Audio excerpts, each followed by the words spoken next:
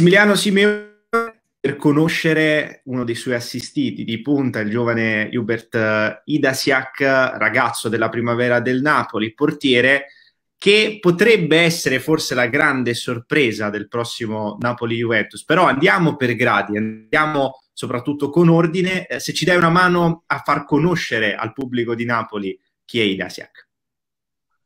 È un portiere che ormai è da quattro anni a Napoli, è arrivato dopo un veloce provino, già il giorno dopo il suo arrivo eh, a Napoli. Ne furono tutti, diciamo, eh, rimasero entusiasti, insomma, del suo, del, della sua forza, della sua esplosività, fu, fu già dall'inizio, diciamo, fu, fu apprezzato, un ragazzo che è serio, un ragazzo che si, si allena con costanza.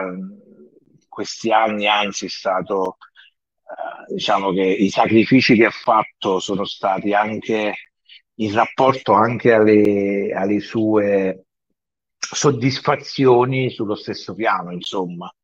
È bravo tra i pali, deve sicuramente migliorare un po' il gioco con i piedi, però è, eh, la sua forza è, soprattutto quella di quando entra in campo, entra con una tranquillità assoluta, non, non sente la pressione. Lo fa col Napoli, l'ho fatto nelle giovanili con la nazionale polacca. Eh, sai, sono uno di quei portieri che eh, è inconscio dei suoi, dei suoi pregi ma riesce ad essere concentrato perché sa che ha ancora dei difetti che deve andare a migliorare, migliorare solo con il lavoro.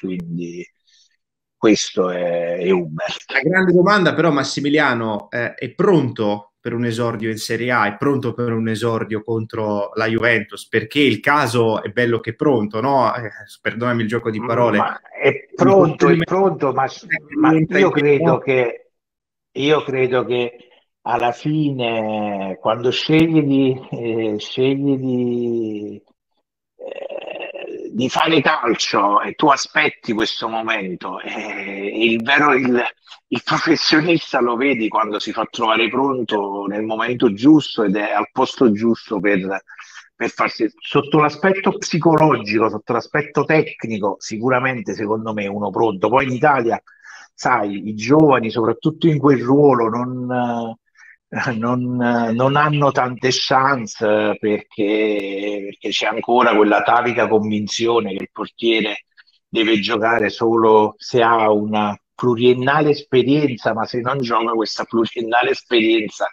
non, non, non l'avrà mai. Quindi voglio dire, meglio buttarli subito nella mischia e vediamo come va. Però per caratteristiche, sarebbe...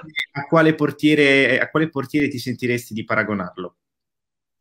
Guarda, io quando vedo Hubert penso molto ad Oblak perché hanno più o meno le, o le, stesse caratteristiche fisiche, la stessa esplosività tra i pali e, e, anche la stessa tranquillità nel gestire le situazioni di pressione. Quindi lo paragono a, eh, a, quel tipo, a, quel, eh, a quello portiere lo, para, eh, lo devo paragonare, mica lo, paragono a un portiere, certo non è ai suoi livelli, ha tanto da, però diciamo come, come stile, come, come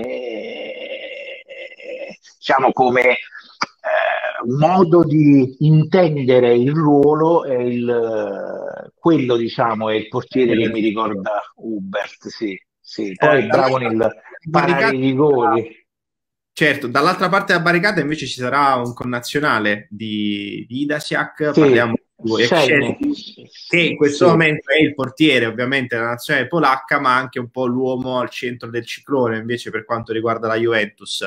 In potenziale può arrivare a quei livelli e diventare magari anche il primo portiere per la nazionale polacca. Ma questo, questo lo deciderà soprattutto il suo curriculum eh, e, i suoi prossimi step da giocatore di prima squadra. Tu arrivi in nazionale dopo un percorso che fai nel, nel club e, e, poi comunque eh, la Polonia ha in questo momento veramente tanti portieri giovani di, di ottimo, ottimo livello. Eh, penso a Majewski, penso a Mista, penso a Dugiski che è un 2005, penso a Zelachowski, ci sono tanti giovani portieri in Polonia, c'è un 2003 che gioca titolare con lo Jagiellonia, c'è Biegaschi che lo abbiamo visto nell'amichevole contro, eh, proprio con, con il Wisla Krakow proprio contro il Napoli. Ci sono portieri di livello e diciamo che la differenza la fa anche eh, poi il, eh, il, fatto se Hubert riuscirà, questa è una cosa che stiamo già vedendo per l'anno prossimo, di, che questo è l'ultimo anno di primavera, l'anno prossimo troveremo, siamo già al lavoro per trovare una destinazione in cui possa continuare a crescere. Sarà il Napoli o no, non lo sappiamo, però eh, abbiamo già delle, delle società che apprezzano il ragazzo, insomma. Quindi... Società di Serie C, Serie B, polacche? Eh, allora, io già quest'anno c'era una, c'erano due squadre di Serie A polacca che erano interessate al prestito, c'era, eh, c'è una squadra francese eh, a cui è piaciuto molto. È un ragazzo, poi basta seguirlo per vedere che le doti ce le ha. Quindi adesso eh, Purtroppo in Italia mandarlo in prestito in Serie C era per il discorso degli under, per il discorso del diventa impossibile. Quindi abbiamo optato per farlo restare un altro anno a Napoli, si allena con la prima squadra, l'allenatore del, dei portieri è un, è un ottimo allenatore, quindi diciamo che è un percorso che per quest'anno va benissimo e, eh, migliorerà anche non, non, avendo quel piccolo step in più di giocare con i grandi eh, eh, già da quest'anno. L'ultima te la faccio invece sul rapporto che ha il ragazzo con uh, Napoli ed il Napoli, perché questa è la sua quarta stagione in azzurro, ha già respirato qualche panchina in prima squadra. C'è qualche calciatore con cui ha legato di più dei grandi? Immagino anche il connazionale Zierischi. Sì, eh, con, con, con Gelischi, sì, Gelischi gli fa anche molto da fratello maggiore, questo, c'è questo ed è importante, eh? importante, che poi i polacchi sono un po' come noi italiani, sono molto cercano di fare gruppo tra di loro, ma Gelischi fa più di, di essere, è più di un semplice compagno di squadra, questo me lo dice Hubert da sempre, quindi poi ma con tutti i compagni lui ha una eh, gli piace molto anche eh, guardare Meret, guardare Ospina per cercare di carpire qualche piccolo segreto, qualche eh, da portieri che hanno già un'esperienza sicuramente maggiore della sua, quindi lui è contento di allenarsi con la prima squadra proprio per questo.